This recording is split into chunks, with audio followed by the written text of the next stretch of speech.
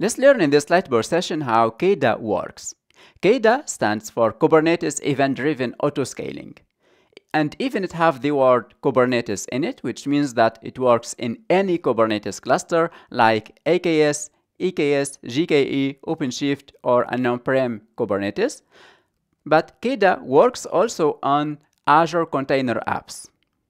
KEDA was uh, created in order to extend the Kubernetes autoscaling features. So Kubernetes typically uses autoscaling rules based on memory and CPU, but with KEDA, we can extend that system to use some external metrics or to use event triggers that could be based on a message queue, for example, like an Azure Service Bus or Kafka or RabbitMQ. So within KEDA, we will have first the trigger of the auto scaling, which could be either a queuing message. So let's see here, let's say here we would have a queue, for example, a queuing system where we have multiple messages waiting to be received and processed, or could also be triggered based on a metric. So we might have an external uh, metric system like Prometheus, for example, that will save metrics about workloads on our cluster or metrics about other workloads outside the cluster. And then we would have here KEDA that will go to connect to these two systems. So let's add KEDA here. So if I'm using an AKS cluster, I will need to install KEDA as an extension. Or if I'm using now Azure Container Apps, then KEDA will will be already there. It's installed out of the box. So KEDA will go to connect to those different uh, systems. For that, we'll need to authenticate and we'll come to this later. So it will connect to my queue, for example, that could be something like Azure uh, Service Bus, or it could be something like RabbitMQ, Kafka, and many more. So let's say here, I want to create a new job or a new pod each time I have a new message, for example, in order to process that message. So for that here, KEDA will act on my deployments, on the number of replica for the pods or for the container app or for the jobs. And typically within an AKS cluster, we have the HPA, the horizontal pod autoscaler. So KEDA first will go to configure the HPA. Remember, the HPA is the horizontal pod autoscaler, and it is the component in Kubernetes that decides about the number of replica for my pods.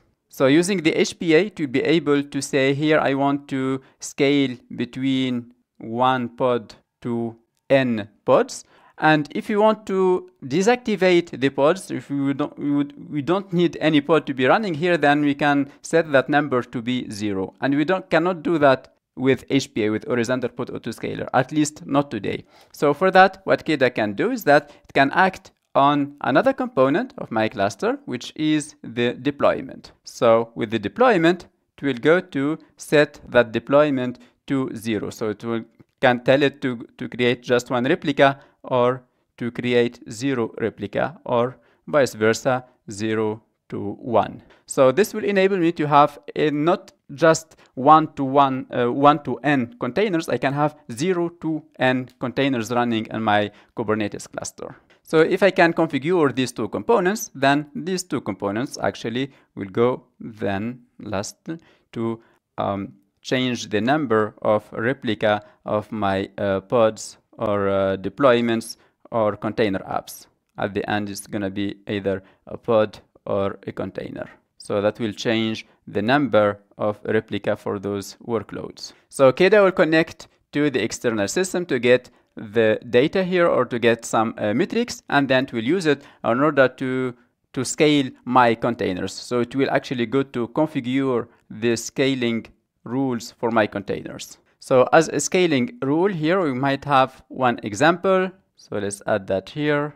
As a scaling rule, let's say, for example, uh, one, if I have one message waiting in the queue, that will trigger running one container or one pod. And they can also say, if I have five messages, then they will be processed by one single container. So they will trigger only one container instead of five containers. So a scaling rule could be, for example, five messages in the queue will trigger will trigger a job or a pod at the end that triggers containers. So for this uh, KEDA component to be able to connect to those external systems like the Azure Service Bus, for example, then it will need to authenticate and to authorize. So for that here, it will perform that operation.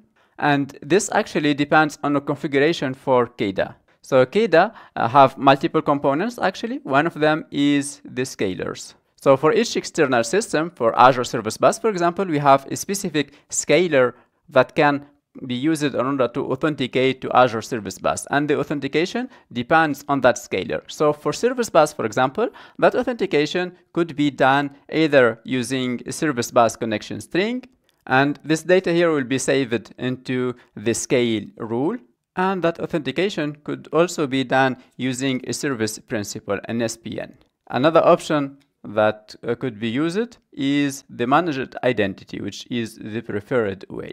So for this option for using the managed identity, it works for KEDA with Kubernetes, with AKS, because managed identity could be only used within the Azure cloud. But for Azure Container Apps, this option doesn't work until today. It's not actually uh, implemented. However, in the future, it might be uh, supported. So keep watching on that. Now after KEDA have connected to those external systems, it gets the data, the number of the messages, then it will go to trigger the scaling of those workloads. Once these workloads starts running here, typically what I want to do is that maybe I have an application in here and that application because it was triggered by a message from the queue, it will go to process that message. So that my application here needs to go to connect to that queue. So here it will perform a connect operation and it will go to receive the message from the queue. For this workload to be able to connect to that, uh, to that queue again, it will go to perform an authentication operation. And this authentication here is totally independent from the authentication of KEDA. But it still use, it's uh, it will still be able to connect the same authentication options available with here. So it could use either a managed identity or connection string or an SPN, but it can also use an, some other authentication options uh, because here we are talking about a container and for a developer he wants to test that container locally in his developer machine before deploying that container to the Kubernetes cluster or to container apps. So he wants to make sure that when testing locally that this container could connect to that service bus queue in order to be able to debug it and to make sure it works as expected. So once that container or that application is running on his own machine, he needs to perform an authentication. And when he's on his machine, he cannot use managed identity because his machine is not an Azure virtual machine. And maybe we, we don't want to use a connection string or a service principal because those contains uh, passwords and credentials and we don't want to save those credentials onto the developer machine. So what we can use here is some other options like using the Azure CLI.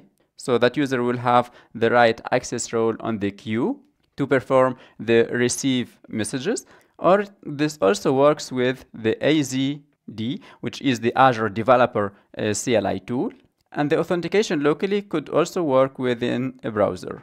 So all of these will be enabled by an object that is called the Azure Credentials, which is an object either in .NET or Python, and you can configure it to use the right authentication method so that your application could connect. I hope this was helpful. Thank you.